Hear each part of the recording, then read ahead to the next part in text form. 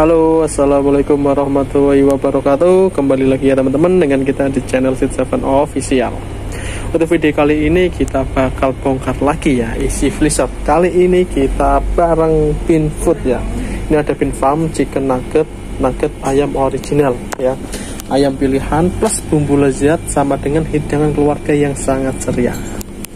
Oke langsung saja ini untuk ukuran freezer 100 ya sebelumnya kita sudah pernah nge-review untuk yang so good, food dan sekarang untuk bin fram.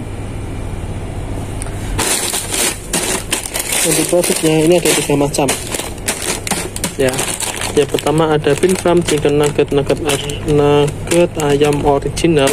Terus ada bin fram chicken karage ayam karage.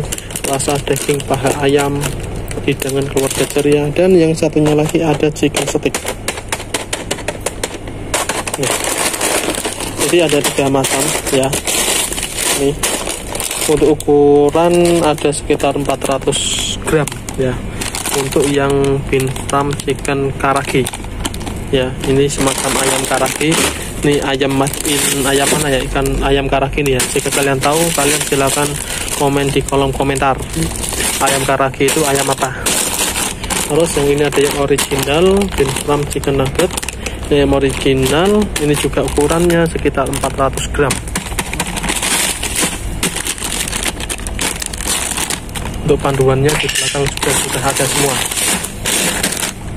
Dan yang terakhir yang ketiga ada chicken stick ini berbentuk stick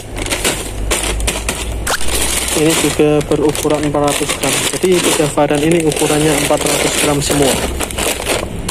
Ya. Untuk freezer ini sangat kecil ukuran sekitar 100 liter ukuran freezer.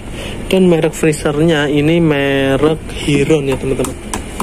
Ini merek Hiron merek Hiron kalau yang ini merek Liber hmm. Liber dari Ice Cream Box nanti next kita coba review juga isi freezer dari Ice Cream Balls untuk saat ini kita baru mereview dari Bin Food yaitu Bin Farm chicken nugget nugget ayam original. Ini baru ya. Untuk harganya nih teman-teman. Ini di Jawa only ya. Harga sekitar 53.000 ya.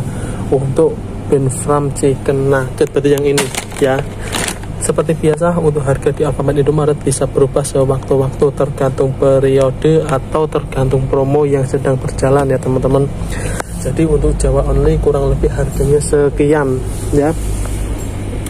Untuk variannya ada tiga dan kemarin kita juga sudah review untuk Sogut sekarang kita sudah selesai untuk review dari Bin Farm dari Bin Food ya teman-teman oke jika kalian suka dengan video saya kali ini jangan lupa untuk di like subscribe dan komen.